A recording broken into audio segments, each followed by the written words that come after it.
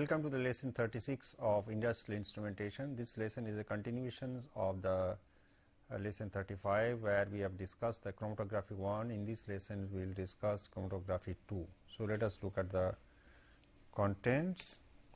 This is a chromatography 2 as I told you.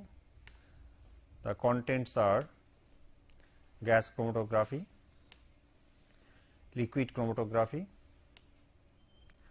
chromatogram Okay, so we will see that in this particular lesson, so we will discuss uh, the actual the how the chromatogram should look like and what are the if there are multiple peaks comes and what are the problems what exactly I mean the the shape of the chromatogram should be I mean that depends actual the uh, finding the uh, concentrations of the different components of the gas and liquids precisely.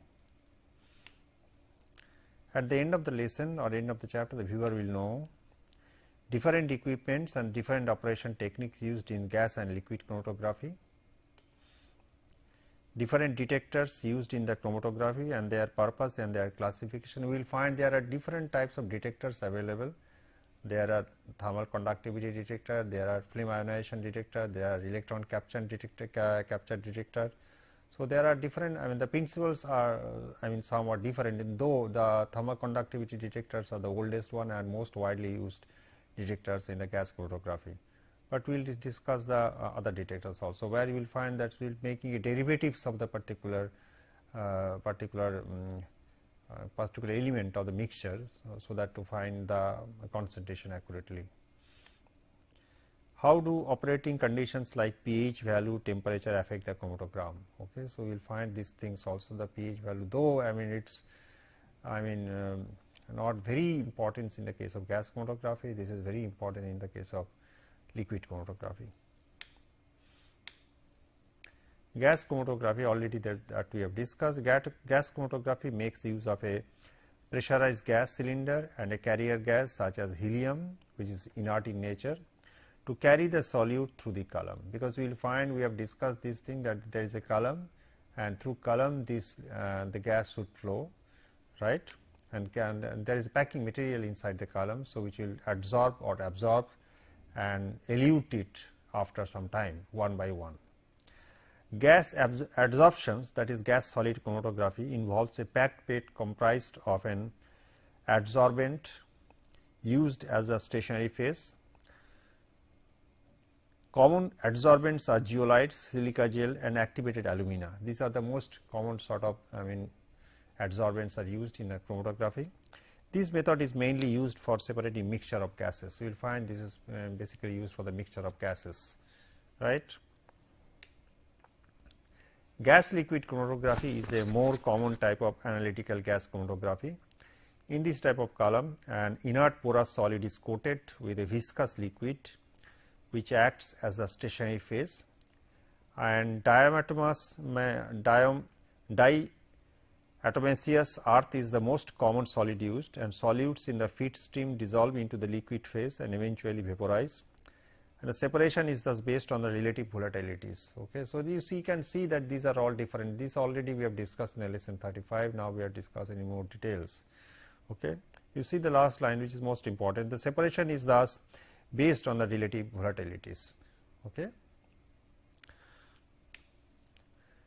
Now, capillary gas chromatography uses a glass or fused silica capillary walls which are coated with an absorbent or other solvent and the column has only limited capacity because of the small amount of stationary phase. However, this method also yields rapid separation of the mixtures, right.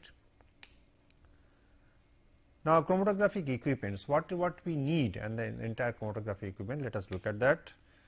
Basically, you will see the uh, figure in the next diagram in the next slide. Basically, a gas chromatograph uh, consists of 6 parts, a supply of carrier gas in a high pressure cylinder, a sample injection system.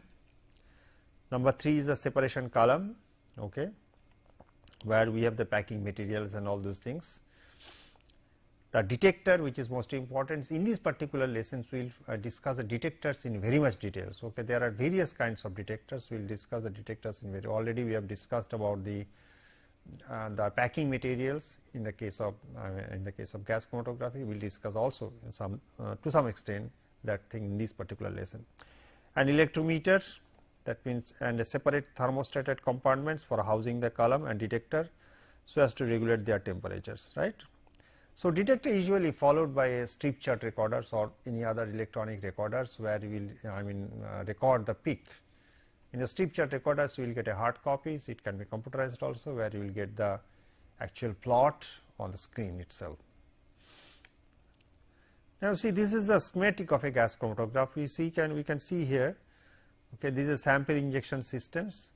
We have a column here. You see the columns are made like this okay columns are these are the columns.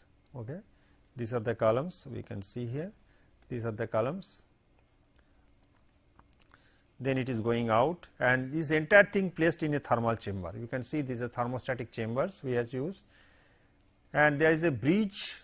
What is the bridge and, and there is a reference detector. We will find that to make the uh, I mean uh, other things nullified because you see this type of measurements already we have did, in the case of Wheatstone bridge we will find the same principles is utilized especially in the case of thermal I mean thermal conductivity detector. This is used.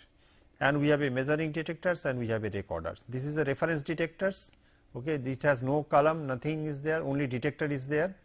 And there is a measuring detector. Because measuring detector I mean suppose the, the detector if the temperature I mean if I want to make the temperature independent or ambient temperature variation independent so in that case I should use a reference detector. Reference detector has no column nothing but it has the same I mean uh, same material same I mean what are the inside the components so that uh, the temperature variation everything will be nullified and I will get the only the only the this will go to the two opposite arms of the Wheatstone bridge so that it will be nullified. We will see this thing in the next I mean in in subsequent slides. Now, sample injection systems let us look at the sample must be introduced as a vapor in the smallest possible volume. Sample should be very very small. So, small is the I mean small is the amount that is better for our detection. The peak will be better that is most important thing right. So, the sample should be because ultimately we are measuring the relative concentrations okay. So, it does not matter I mean if it is small or large. So, if it is small so it is good for us okay the detection will be easy the peak will be more separable we will see that type of things. The sample must be introduced as a vapor in the smallest possible volume and in a minimum of time without decomposition. It should not be decomposed that is most important thing. Liquid samples its order of 1 to 10 microliters in a volume are usually injected by a micro syringe through the self sealing silicon rubber septum. Okay. So, it is a very small amount that we can see 1 to 10 microliters and it should be should have a micro syringe so that a very small amount can be injected. The most accurate and precise method for the gas sample used uh, a calibrated sample loop of 0.5 10 milliliters and a multi-port rotary valve. So, different different types of rotary valves will be used in the case of uh, in the case of this type of sample injections okay, because sometimes we need a valve so that the precise amount can be injected. The smaller the sample the better the peak shape that I told you okay the peak shape should be uh, better and better. How the peak should look like? Let us look at that. You see the peak should be the ideal peak should be suppose I have a suppose I have two components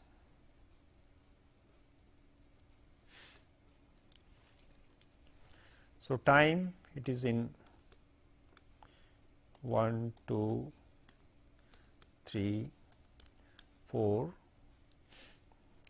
so, it is coming like this. The two peak is coming like this right.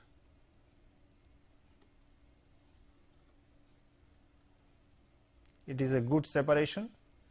Separation of the two components the two peaks are coming like this. It might be sharp also. It may not necessarily it will be like this one. It can be I mean sharp also. It can be like this one. It can be very sharp like this one also. Okay. Now, if this is always possible if the sample quantity is very, very small. If the sample quantity is large, you can see that the what type of what type of peak you will get. You will may get a peak which looks like this.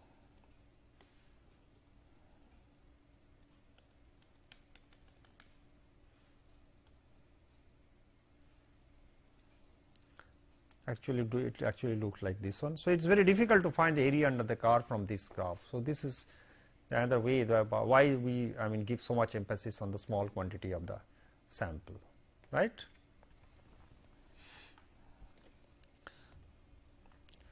The smaller the sample the better the peak shape.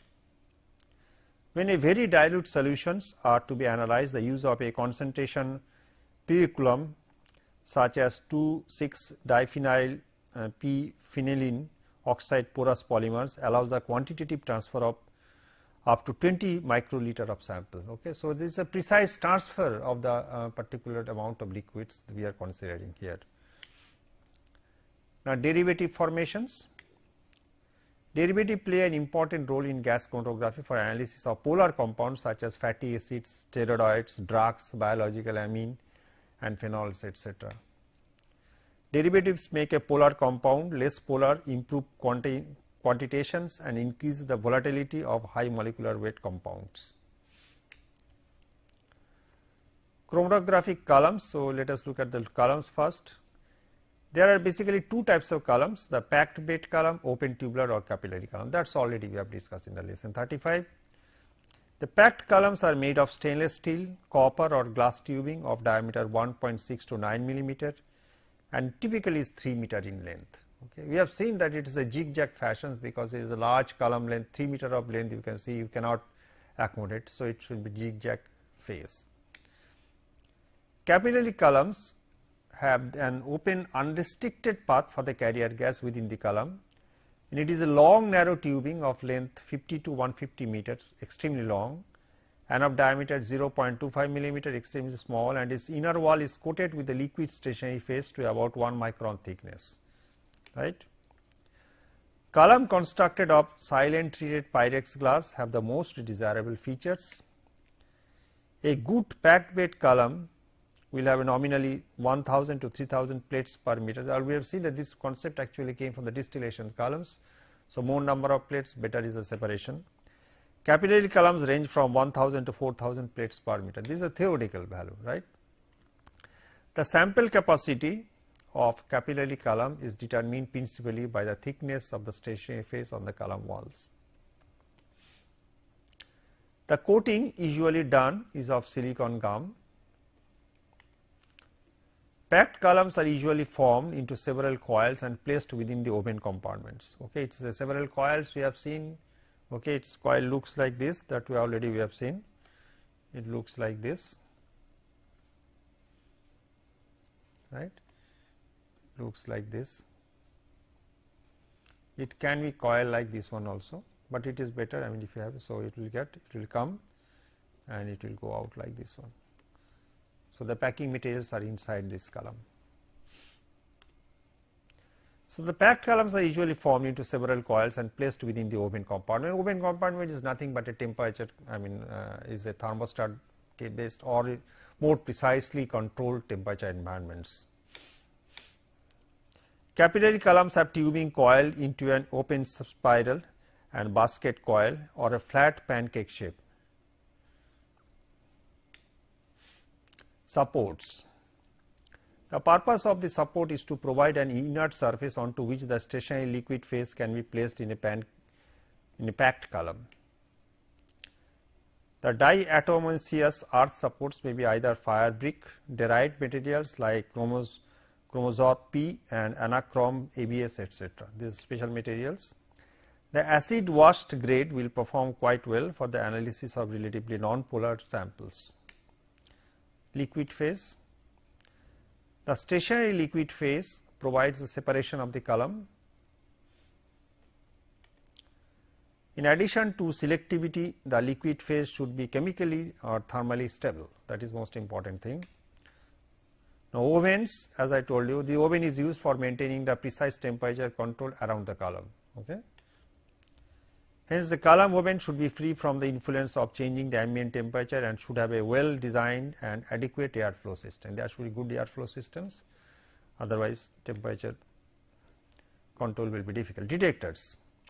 Now, detectors we will discuss in very much details as I told you. The detector senses the presence of the individual components as they leave the column. As they leave the column, so we will have the, so all the detectors, we have injection systems, we have a carrier gas, okay, we have a solvent pump, everything is there, so it will go to the column, from the columns it will come out, it will elute depending on the absorbent material, absorbent material and ultimately it is come to the detector. So, all the columns will be followed by detector and detector will be followed by an another recorder. The detector output after amplification is traced on a recorder as I told you right. The different types of detectors generally used are thermal conductivity detectors, flame ionization detectors, thermionic emission detector, flame photometric detector, electron capture detector and helium detector. So, we will discuss some of the things okay. So, we will uh, discuss some not all we will discuss in this case. So, that anybody can refer to some standard book on the gas chromatography for this. Detectors in chromatography are generally operated in two different ways. They respond either to the concentration of the solute or the mass flow rate. Those responding to the concentration yield a signal which is proportional to the solute concentration which traverses says the detector. An elution peak will result when the signal is plotted against time, right. So, there can be different components. So, how does it look? Let us look at. You see here that The selectivity efficiency this is very important in the case of the peak right. So, those are the things we should discuss. What is the selectivity? What is the efficiency? Let us look at. I have you see here. These are injections I have made here.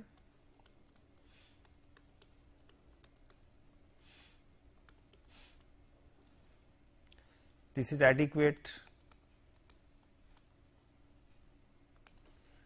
selectivity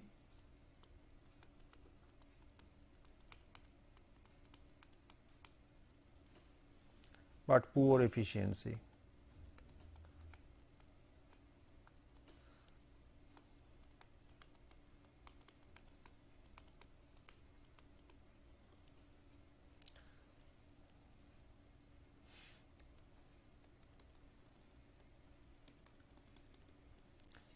See here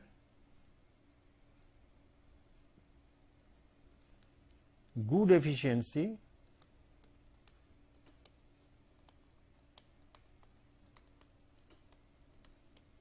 and selectivity. This is the desired characteristics and selectivity.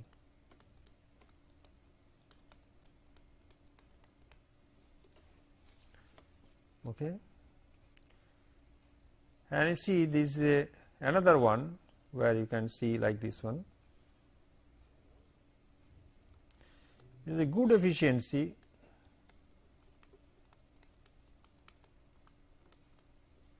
but poor selectivity.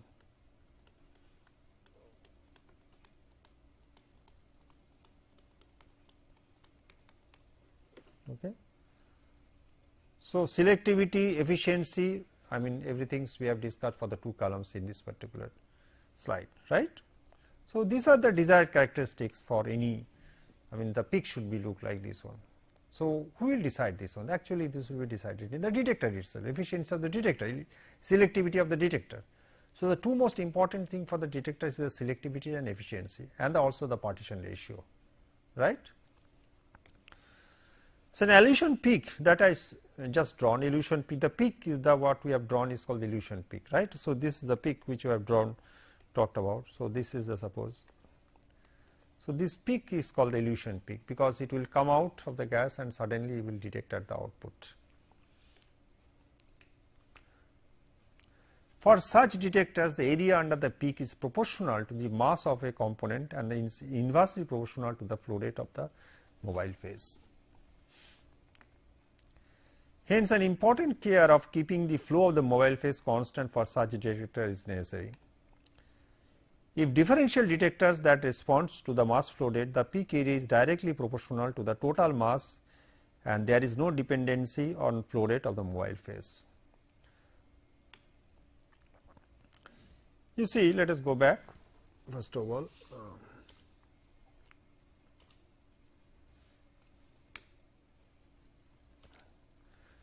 Now, you see when I talked about the uh, thermal conductivity detector, thermal conductivity detector is the one of the oldest detector and it still is used because of its simplicity of the system. It is very simple system and it is very widely used, data are available over the years people are using these things and it is non-destructive.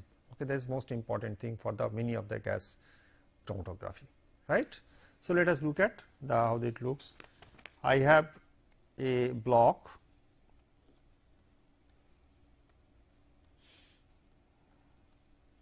looks like this. Okay. Let me take a new page.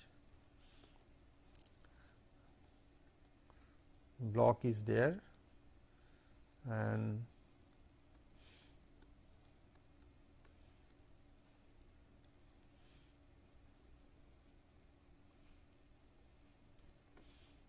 Okay, here actually I will put the detector. So, here it will look like this, then it will go like this.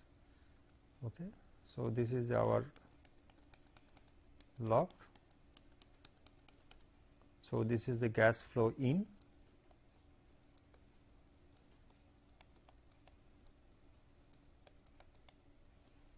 and this is the gas flow out.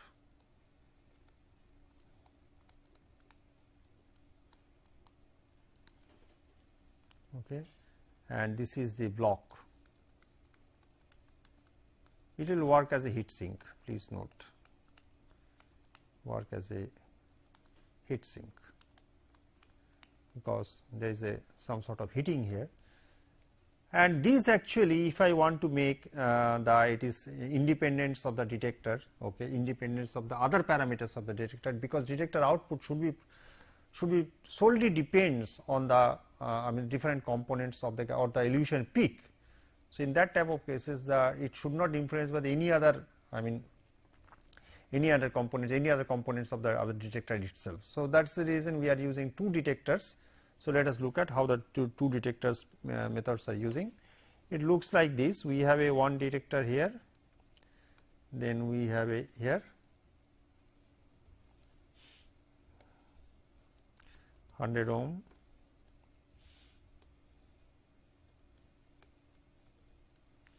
this is 100 ohm bridge balance. So, there is an ammeter 0 to 500 milliampere this is coming through a resistance 100 ohm it is coming here. So, this is excitation voltage E x BJ excitation. So, this is coming to the recorder because this is the unbalanced voltage. Okay. So, this is the detector 1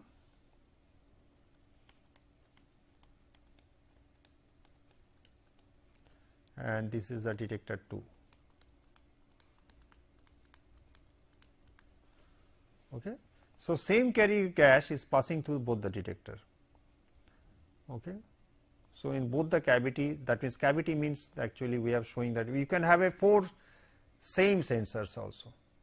Okay. So, it looks like this you see this is the thing let me, let me first explain then I will go to that. See two detectors are there. So, same carrier gas is passing through the both the detectors, but there is no column or anything on the detector 2. Initially what we will do I will balance with the by varying this potentiometer I will balance the bridge. So, whenever the detector I mean I mean the elution peak comes that means when the gas is coming out I will have elution peaks. So, detector output will change because the, there is a thermal uh, conductivity there. So, it will change. So, automatically if it changes I will get an unbalanced voltage that will be recorded in the recorder right. Now, again you see the in the hydrogen flame ionization detectors for high sensitivity analysis of organic compounds the hydrogen flame ionization detector is used that is different things okay we will discuss that thing also. So, two detectors are using you see we can have four detectors also four detectors in one block itself right it looks like this you see. So, what we have we have one four detectors is a block I can have 2 detectors and I can have 4 detectors also. It is coming like this one, right. Okay, let us go back. Now, you see this is the flame ionization detectors as I told you this flame ionization detector is one of the detectors. So, the different components in the flame ionization detectors. This is the exit end of the column let us look at. You see here a jet capillary is there okay. It is I mean flown through this one. This is the hydrogen air flame and air is coming through this one. And this is with the with the air and hydrogens it is I mean so we have a collector assembly nut we have insulators and we have a collector roll. We are putting across the uh, high voltage inside the detector plates. So what is this? Let us explain the flame ionization detectors is currently is one of the most popular detectors because of its high sensitivity wide range and great reliability. As shown in the figures I mean this particular figure figure 2 I think uh, figure 2 the column effluent enters the burner base through the multiport filter. So, through this one it is enters and is mixed with the hydrogen gas and mixture burns at the tip. This is the tip of the hydrogen. You see this is the tip. Let me Uh, okay. So, this is the tip you can see here this is our tip hydrogen tip the jet air with the air oxygen because through air it is coming. So, it is going down and is burning. Ions and the free electrons are formed in the flame and these enter the gap between the two electrodes. We have two electrodes and the, there is a high voltage and the flame jet and the collector which may be a parallel plate or might be cylindrical. Okay. Now, this is mounted around 0.5 to 1 centimeter 1, uh, 1 centimeter above the flame tip. So, above the around 0.5 either to 0.5 to 1 centimeter half centimeter to 1 centimeter above the flame tip and across the two electrodes a high voltage of 400 volt is applied right and this lowers the resistance across the gap and causes a current to flow right. Normally an external bucking voltage is produced to balance the potential generated by the ions and free electrons generated in the pure hydrogen air flame. This ensures that a net current flows only when ionized materials enters the gap, when the net current flows when the ionized materials enters the gap. Thus, enhancing the differential sensitivity of the detector, the current flow across the external resistor is sensed with the voltage drop and is amplified and displayed on a recorder. Now, hydrocarbon groups are introduced into the flame and a complex process takes place in which positively charged carbon species and electrons are formed. Now, the current is greatly increased. Okay.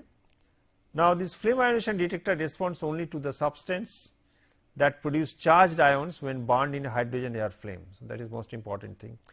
In an organic compound, the response is proportional to the number of oxidizable carbon atoms. So, this is basic principles of the flame ionization detector. Now, if I look at the thermoionic emission detector, you see this is thermoionic emission detector. It is principally something different. It employs a fuel poor hydrogen plasma. This low temperature source suppresses the normal flame ionization response of a compounds not containing hydrogen and phosphorus. Although the response to carbon is not entirely eliminated, a non-volatile uh, rubidium silicate bead here you see here non-volatile medium silicon bead centered about 1.2 centimeter above the plasma jet is electrically heated by variable current supply to between 600 to 800 degree centigrade. This arrangement permits the fine adjustments of the bead's temperature and independent of the plasma as a source of thermal energy. With a very small hydrogen flow, the detector responds to both nitrogen and phosphorus compounds and enlarging the plasma, the changing the polarity between the plasma tip and the collector and detector responds only to the phosphorus compounds. Okay, so that I can make it nitrogen, I can make it sensitive to the phosphorus compounds also. Now, compared to the uh, compared with the flame ionization detector, the thermal emission detector, thermionic emission detector is about 50 times more sensitive for nitrogen okay, and about 500 times more sensitive for phosphorus. Okay. So, any traces of phosphorus, any traces of nitrogens can be better detected in the case of I mean uh, thermionic emission detector compared to the flame ionization detectors, though flame ionization detectors also is a comparatively new compared to the thermal conductivity detector. The minimum detectable limit is around 0.06 Pg I mean per second for nitrogen. Okay. So, this is the thing you can see here that there is a flame tip which is 1 point around 1.2 cent above the plasma jet. Okay. So, this is our I mean thermionic emission detector. Last we will discuss the electron capture detector. You see this is the electron capture detector. Now, electron capture detector has two electrodes within the with the column effluent passing between one of the electrodes is treated with radioisotopes that emits high energy electrons as it decays and these emitted electrons produce I mean amounts of large amount of low energy thermal uh, secondary electrons in the gas chromatography carrier gas all of which are collected by other positively polarized electrode either of the positive polarized electrode.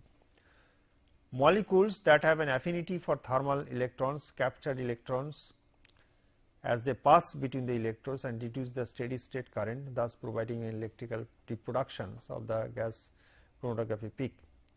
Of the two general designs, the plane parallel and the concentric cell and the latter design is preferred since it is easier to construct a small low loaded volume cell in this form. Now, particular radioactive sources which are used that the tritium adsorbed in the titanium or scandium and nickel 63 as a foil or plated on the interior of the cathode chamber. Tritium sources have a high specific activity giving a large standing current and high sensitivity, but the beta energy is so low that the source is extremely susceptible to contamination. The maximum working temperature is 225 degree centigrade. Now, nickel 63 is a higher energy sources that can be used up to 400 degree centigrade. Okay. So, this you see this is the I mean we are uh, talking the electron capture detectors let us now go back. Now, adsorbent in cases of gas solid chromatography. Inorganic molecular sieves are naturally occurring for synthetic or synthetic zeolites which are comprised of interconnected cavities or pores of uniform size. Four types of molecular sieves are varying in pore diameters. Okay, this is adsorbent because this is different types. So, the dimensions of the pores are so that the I mean it is Armstrong level so that the sum of the larger cannot enter the pore, some will enter which is smaller in diameter. Varying pore diameter and alkali metals contents are available. Type 3A, a potassium uh, aluminosilicate with the pore diameters of 3 Armstrong, it will absorb the molecules such as water and ammonia. Okay, it will absorb the molecules of water and ammonia. Type 4A, it is a sodium analog type of 3A. Okay it will absorb the molecules of carbon dioxide, right, sulfur dioxide, hydrogen, disulfide, disulfide, ethane, ethylene, propylene and ethanol, right. Type 5A with calcium replacing part of the sodium content of content of type 4A and it will separate most of the hydrocarbons. Okay. In many I mean I mean this petrochemical industry this is very important Type 13X a sodium aluminosilicate of different crystalline structure from the preceding types has a pore diameter of 10 Armstrong. The molecular sieves separate molecules not only according to the size and configuration, but according to the polarity and degree of unsaturation as well. Columns prepared from carbon molecule sieve type B with pore radius of 5 to 15 Armstrongs are also available. Porous polymer packings are analogous to the porous gels used in the exclusion chromatography. Those made from the copolymers of aromatic hydrocarbons provide column packings of low to moderate polarity. Polymers made from the acrylic esters and provide the packing of moderate to high polarity. Solid absorbents like silica gel, alumina etc., are used for specific applications, right.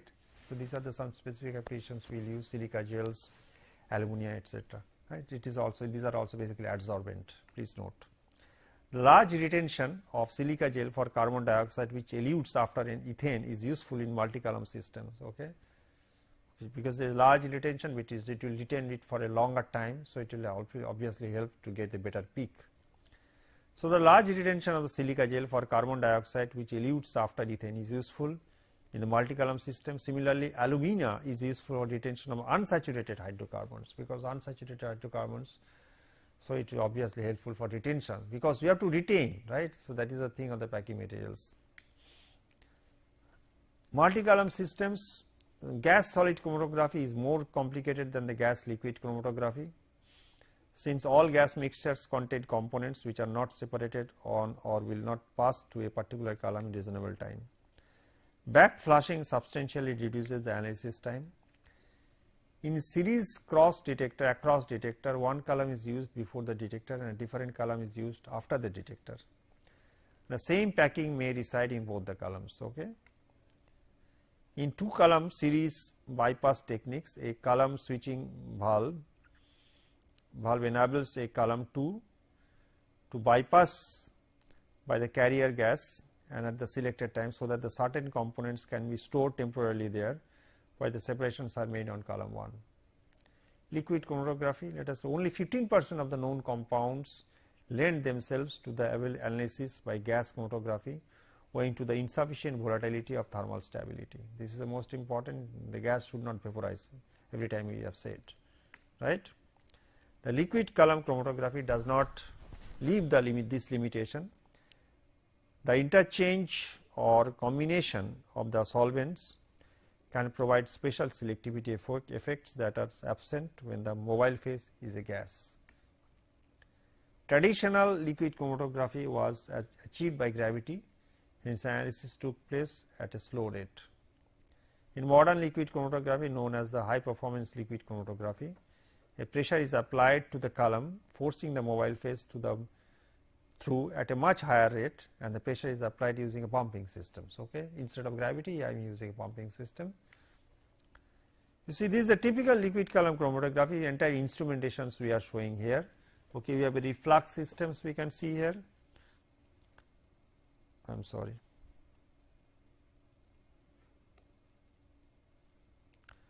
Okay, you see here.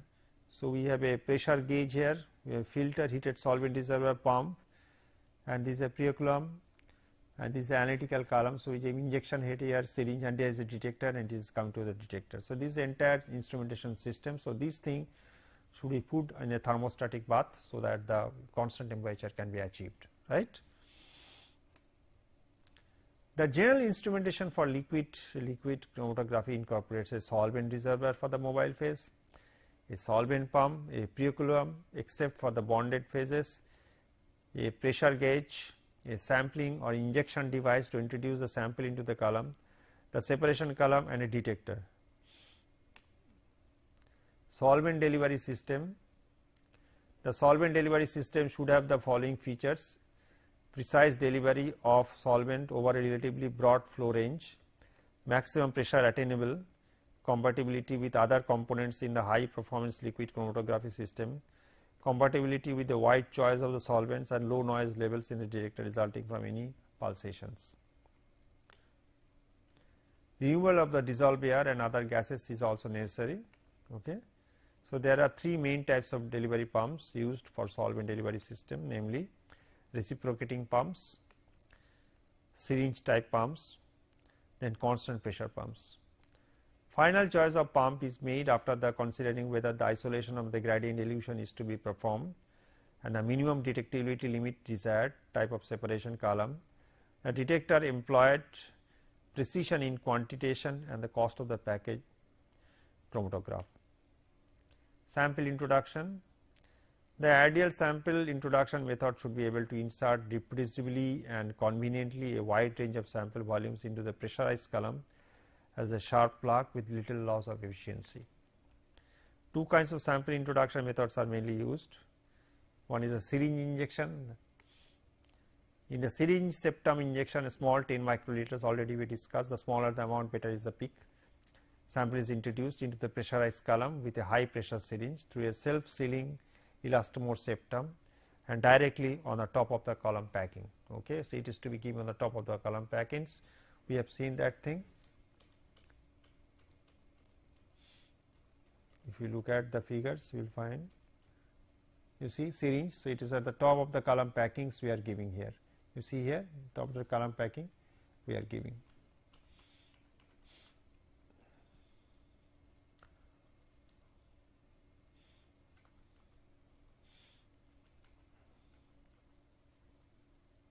sample introduction.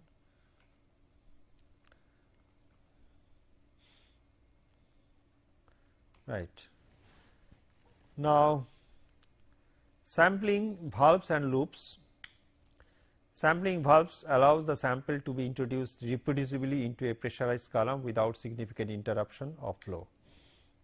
Separation column Heavy wall glass or stainless steel tubing which can withstand high pressures are generally used to construct liquid chromatography columns. Columns with an internal diameter of 5 millimeter provide a good balance between the sample capacity, the amount of packing used, the solvent required and column efficiency. 2.1 millimeter bore packed column requires about 5 times the inlet pressure or as the same length of 4.6 millimeter bore column for the same flow rate. Replacing the steel columns excuse me steel columns with comparable cartridges permits the cartridges permits the dedication of the cartridge to each application thus maximizing the life. Column packing that lie in the range of 3 to 7 micrometer in diameter are used for exclusion chromatography. Column temperature is maintained by circulating air baths or by using water jackets or, or thermo, um, thermostat that is already we have discussed. Oven is nothing but a thermostat where its constant temperature is maintained. Okay. Or you can we can make it I mean instead of oven we can circulate with the jackets where the constant temperature and can by controlling the circulating waters we can control the temperatures of the oven also um, of the column. Preceding the separation column should be short 5 centimeter protection column to absorb or filter unwanted materials. We can see there in the if you go back to the initial slide you will find on the instrumentation systems we have a filter. Okay. So, this will be I mean filter all the unabsorbed unwanted materials. Detectors Choice of detectors mainly depends on the problem at hand. The different types of detectors used we have photometric detectors, fluorometric detectors, infrared detectors, differential refractometers. Types of high performance liquid chromatography methods, adsorption chromatography. Adsorption chromatography is probably one of the oldest types of chromatography around. It utilizes a mobile liquid phase that is adsorbed onto the surface of a stationary solid phase. Equilibrium between the mobile and the stationary phase accounts for the separation of the different solutes. In this method, the components are separated on the basis of their polarities. Physical selectivity is dominant in adsorption chromatography. Adsorption chromatography is used when the sample is completely soluble in organic solvents and the molecular weight is less than 2000 for all the sample components. We have for more than 2000 we have some different methods liquid liquid partition chromatography. This form of chromatography is passed on the thin film formed on the surface of a solid supported by liquid stationary phase. Clear? Solute equilibrates between the mobile phase and the stationary liquid. LLC is best used to separate homologues where the separation is based on the molecular weight selectivity right. A successful separation is achieved by establishing the proper balance between the attraction of the mobile phase solvent and the stationary liquid phase for the sample. Good separation can be achieved by matching the polarity of the sample and the stationary phase and using a solvent which has a different polarity. Ion exchange chromatography. Here in this type of chromatography the resin the stationary solid phase is used to covalently at attached anions or cations on it right. solute ions having opposite charge in the mobile liquid phase are attracted to the resin by electrostatic forces right. This method is used for compounds with the ionic and ionizable functional groups. If the sample is the insoluble in organic solvents, but soluble in water giving a solution that is not neutral or is only soluble in dilute acids or alkali then ion exchange chromatography is used. Molecular exclusion chromatography this is also known as, known as exclusion chromatography sometimes it is a simple exclusion chromatography, but actually it is a molecular exclusion chromatography. Let us look at. It is also known as a gel uh, permeation or gel filtration chromatography. This type of chromatography lacks an attractive interaction between the stationary phase and the solute. Sometimes there is desirable properties. It is generally used when the molecular weight approximately exceeds 2000. In case where it is less than 2000, we have adsorbent method. Here we have a okay, molecular exclusion photography, I mean gas chromatography which is used for the molecular when the molecular weight is more than approximately exceeds 2000. This method is based on the pores property of the substrate to sort and separate sample mixtures according to size. The pores are normally small and exclude the larger solute molecules, but allow smaller molecules to enter the gel causing them to flow through the larger volume. This causes the larger molecules to pass through the column at a faster rate than the smaller ones, right. So, the pores are normally small and exclude the larger solute molecules, but allow smaller molecules to enter gel causing them to flow through the larger volume. This causes the larger molecules to pass through the column at a faster rate than smaller ones. The chromatograph output or which is called the chromatogram. So, let us look at consider the output from the detector that is chromatogram as shown in figure 6. You see this is a typical uh, chromatograph which we got at the detectors or the strip chart recorders or the different components. We have a gas, we have a components of A, B, C, D. Okay, this will be I am sorry. So, this will be A, B, C, this will be D, different components and this will be E, right. So, this is the chromatogram for the uh, another one. So, is adsorptions, absorptions this is also you see here. See the sample is separated in the column different peaks on the chromatograph corresponds to different components in the mixture clear. See the sample is separated in the column itself. So, when it is at either absorptions it, it elutes and come to the detector. So, it is one by one is detected. Different peaks on the chromatogram corresponds to different components in the mixture. This I told you several times. The chromatograms were obtained by separating a protein mixture using ion exchange chromatography. Okay, depends on the what type of. So, in ion exchange chromatography, you can use a protein, you can separate a protein mixture. The separation corresponds to the chromatogram and was performed at a lower pH value than 1 in P. If you look at, you see the the pH value is uh, was performed in a lower value in A than B. See A has a lower pH value than B. You see the obviously the separation is better in the A. So, this will tell you that actually the how the pH will, uh, will affect the actually chromatogram. So, pH should be maintained so, okay, to a particular value. So, it should be neither low or neither high like that. Okay, this about these chromatograms we are talking about. Since the samples is separate in the column, different peaks on the chromatogram corresponds to different components in the mixture. The chromatograms were obtained by separating a protein mixture using a ion exchange chromatography. The separation corresponding to the chromatogram that is the A was performed at a lower pH value than in B. This actually should look like this, pH would, should not write like this, it should be like this.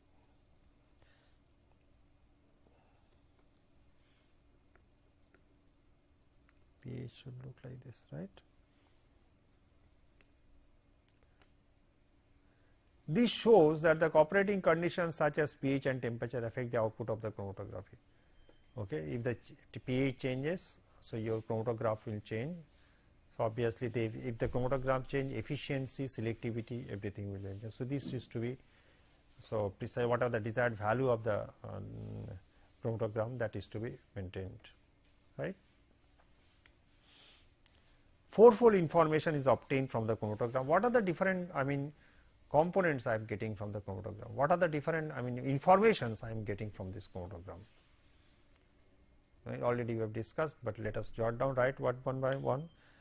The level of complexity of the sample is indicated by the number of peaks. How many what is the complex mixtures I mean that we can detect from this one. So, level of complexity of the sample is indicated by the number of peaks which appear. Qualitative information about the sample of composition is obtained by comparing peak positions with those of the standards. Okay. Qualitative information about the sample composition is obtained by comparing the peak positions with those of standards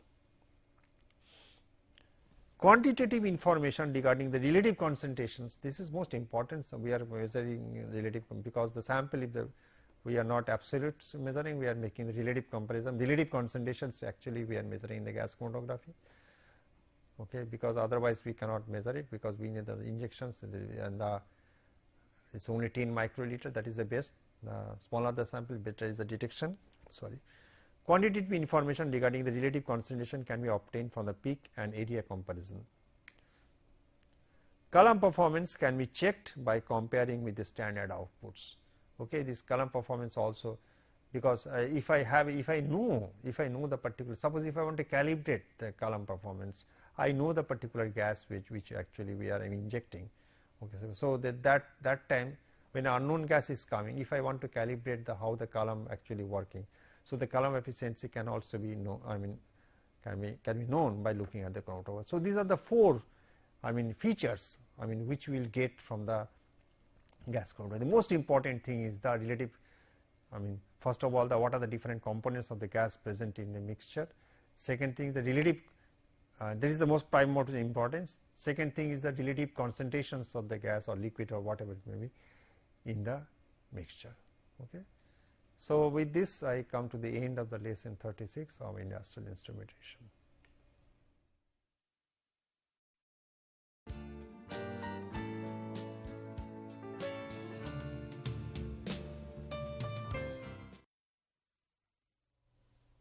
Welcome to the lesson 37 of industrial instrumentations. In this lesson, we will uh, study the pollution measurements.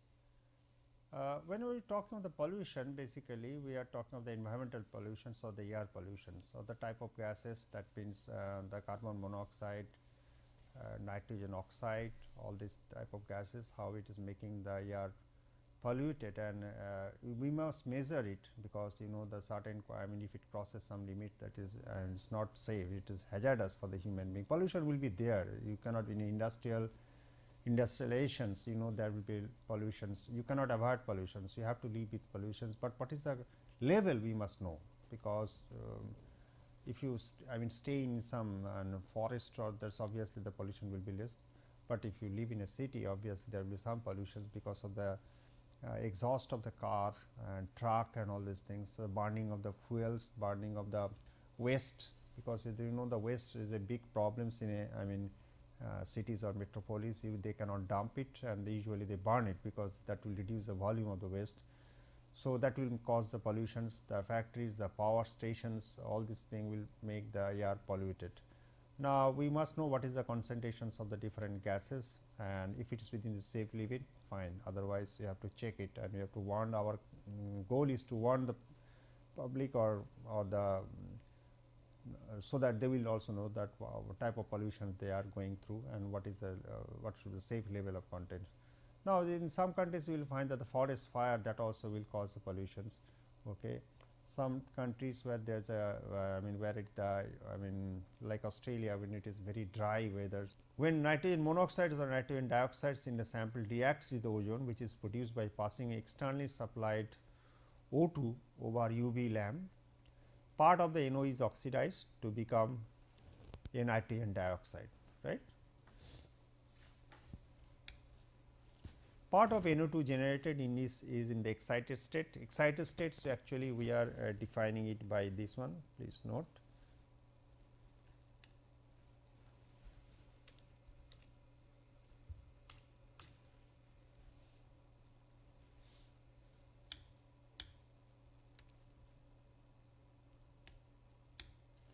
This phenomena is called the uh, chemiluminescence actually you see here. So, we are defining this NO2 uh, this asterisk means it is in excited state I am sorry it is in excited state NO2 asterisk if it is excited state plus O2. So, it is NO2 excited state it is I will liberating the actually this will be H nu I am sorry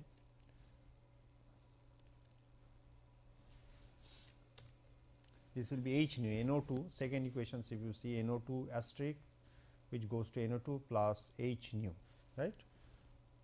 We can